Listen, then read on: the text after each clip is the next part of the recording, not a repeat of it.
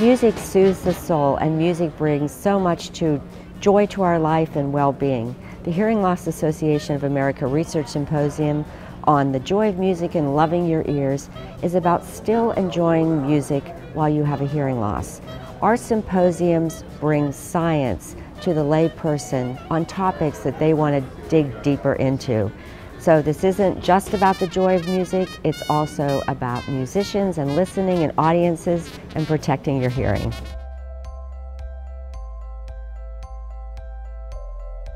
Moving on to some cutting edge research, we know that certain aspects of music perception are challenging with hearing loss.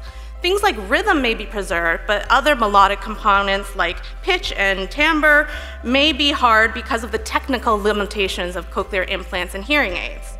In one study from our lab, we looked at the impact of a tablet-based training program called Contours.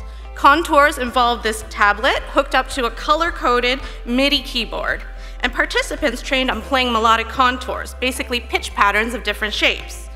Now, melodic contour is really important for music, but it's also really important for things like emotion perception, as well as understanding the intent of someone. Say if someone is asking you a question or making a statement. 15 CI users were given these setups to take home, and they trained for 10 hours over the course of four weeks. We tested them on music, speech, and emotion perception. After training, we found that this led to better melodic contour identification for CI users, specifically on the piano uh, tones that were used by the Contours program. But there were no improvements in speech perception or emotion perception, so we see some limited improvements in music perception with this training.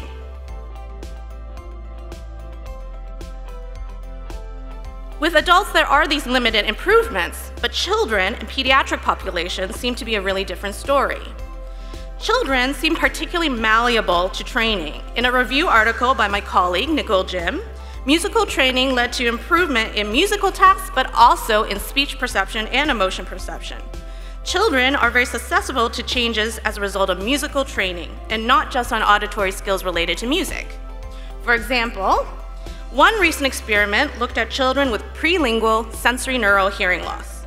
Before the intervention, these children had poorer outcomes for internalizing problems and lower scores on quality of life measures. Then, they did a 12 week music therapy training program in person that was supplemented by online apps. When tested again, it was found that after training, these children had increased peer relationships and emotional regulations.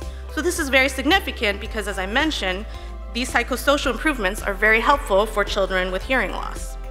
So we are seeing that training in children can lead to improvements in auditory areas and psychosocial areas.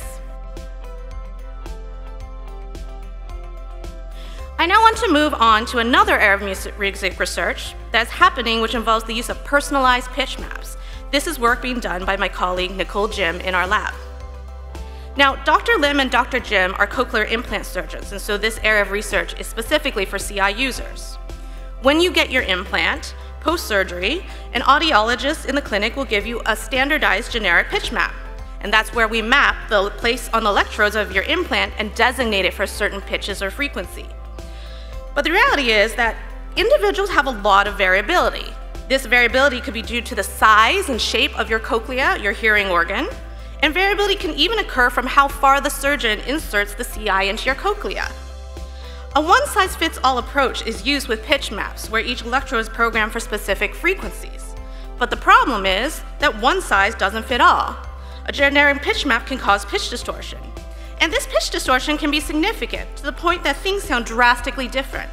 Madonna's voice may sound like Minnie Mouse to one user, and for another one, it may sound like Darth Vader. So, our lab is researching personalized pitch maps and when the map is tailored to the individual. Using a new imaging technology called flat panel CT, we can image your cochlea and see exactly where the electrodes of a CI fall in your ear. Then, since we know where the electrodes are, we can create a personalized pitch map specifically for you and your CI. So for example, this picture shows various participants' cochleas, and the white dots are the electrodes of their CIs. From these pictures, you can see a lot of variability in the shape of the CIs, the coils, etc., and why there might be a need for personalized pitch maps. In contrasting the personalized pitch maps and generic pitch maps, we've shown that there's a mismatch between pitch place mapping. The generic map can be sometimes off by 0.41 to 1.51 octave bands. In music, being off by one and a half octaves is a huge difference. In our cohort of participants for their study, we found that using personalized pitch maps, which were more accurate, led to improved pitch perception. It's possible that in the future, we may not always have to use standardized pitch maps, but instead tailor the programming of CIs better to the individual. In conclusion, there are a lot of unanswered questions within music and hearing research, but it's clear that more investigation is needed to create effective and tailored treatments, plans, and therapies. The Sound Health Network is a greater community of musicians and scientists that want to work on these really exciting ideas and collaborate to find meaningful solutions to the problems.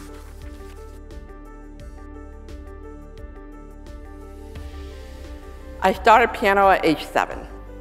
And uh, my mother, my, I should say my family we were not very musical. My, my mother had studied piano as a child in Taiwan, and she was insistent that all three, all three of her girls learn to play the piano, no matter what. So I started piano at age seven. Two years later, uh, my hearing loss was discovered at a school screening. The hearing loss was determined to be uh, profound on the right side and mild to moderate on the left. So because they thought, well, it's profound on the right side and they wasn't any sense in aiding the right ear, and so I got a hearing aid only in the left ear, and I was a, I've been a long time hearing aid user. I, at the age of 16, I decided I'm very tired of piano. It's mom's instrument. It's not my instrument. I was going to choose something else, and I fell in love with the sound of orchestral strings. Um, Although I did face a lot of attitudinal barriers about how someone with such a significant hearing loss like me could learn a string instrument. In any case, I finally took a violin in college. And uh, I studied violin for two and a half years in college. And then, but I loved it so much. So, so, well, so right after college, I went to Gallaudet University for uh, a semester of study. And because I miss, I love my instrument so much, I would practice on the, on the up floor of the library. And only the hearing student at the university said, why is there a violinist playing on the third floor of the Gallaudet Library? But anyway, so um, I love, so I love, my, my, I love playing violin so much. I, right after uh, graduate school, I went back to private lessons and I was taking lessons, you know, uh, up until 1996.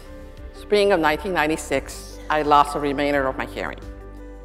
And we don't know what happened. We just know that I had a, uh, that I had a viral infection. And um, so I lost the remainder of my hearing.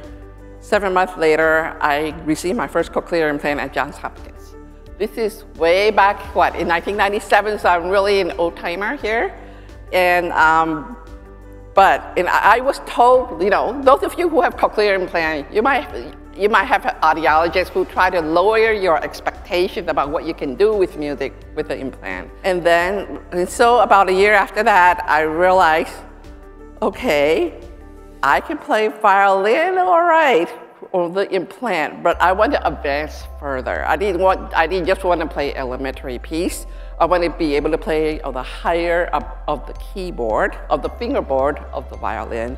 But I also knew that the sound quality was going to be so bad if I play anything above third position uh, on the highest string. So I said, well, well, we know that cochlear implants are supposed to be for 250 hertz to 2000 hertz.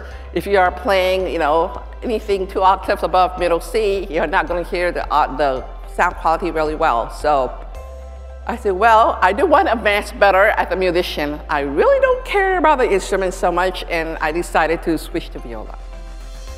Um, so I've been learning viola ever since, and um, I also participated in adult musical ensembles for uh, adult students like me. Um, I live in the Washington, D.C. area where there's a lot of opportunities for adult music students. Um, and I currently take orchestra class at uh, the Levine School of Music, which is um, a very well-known community music school in the DC area.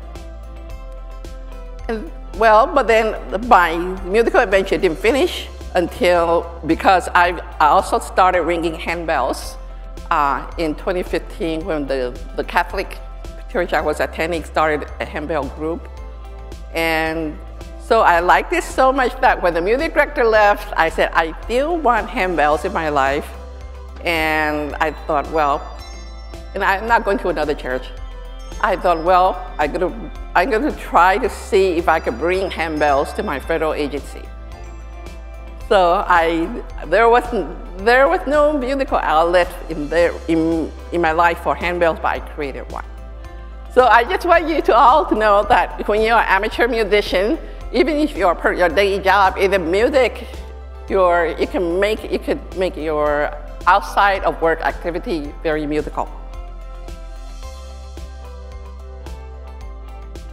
So, and, and in 2001, after I've had several years with my cochlear implant, I thought, we really need to talk with audiologists about why music needs to have an equal amount of attention as speech perception. You can go to any scientific uh, indexer and find thousands of articles about speech perception with relation to hearing devices but you will only find only a small percentage will cover music, percep music perception with hearing devices. So, um, and I was hearing stories about people who didn't know how to explain to their audiologists why music was sounding so bad with their hearing aids or even with their cochlear implant, and I had to tell them, because most audiologists don't understand musical terminology, you have to use something called a music frequency note chart to explain.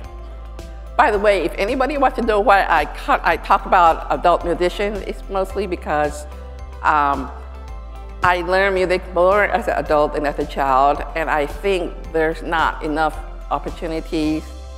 A lot of musical, uh, music education majors, they spend their time focusing on children.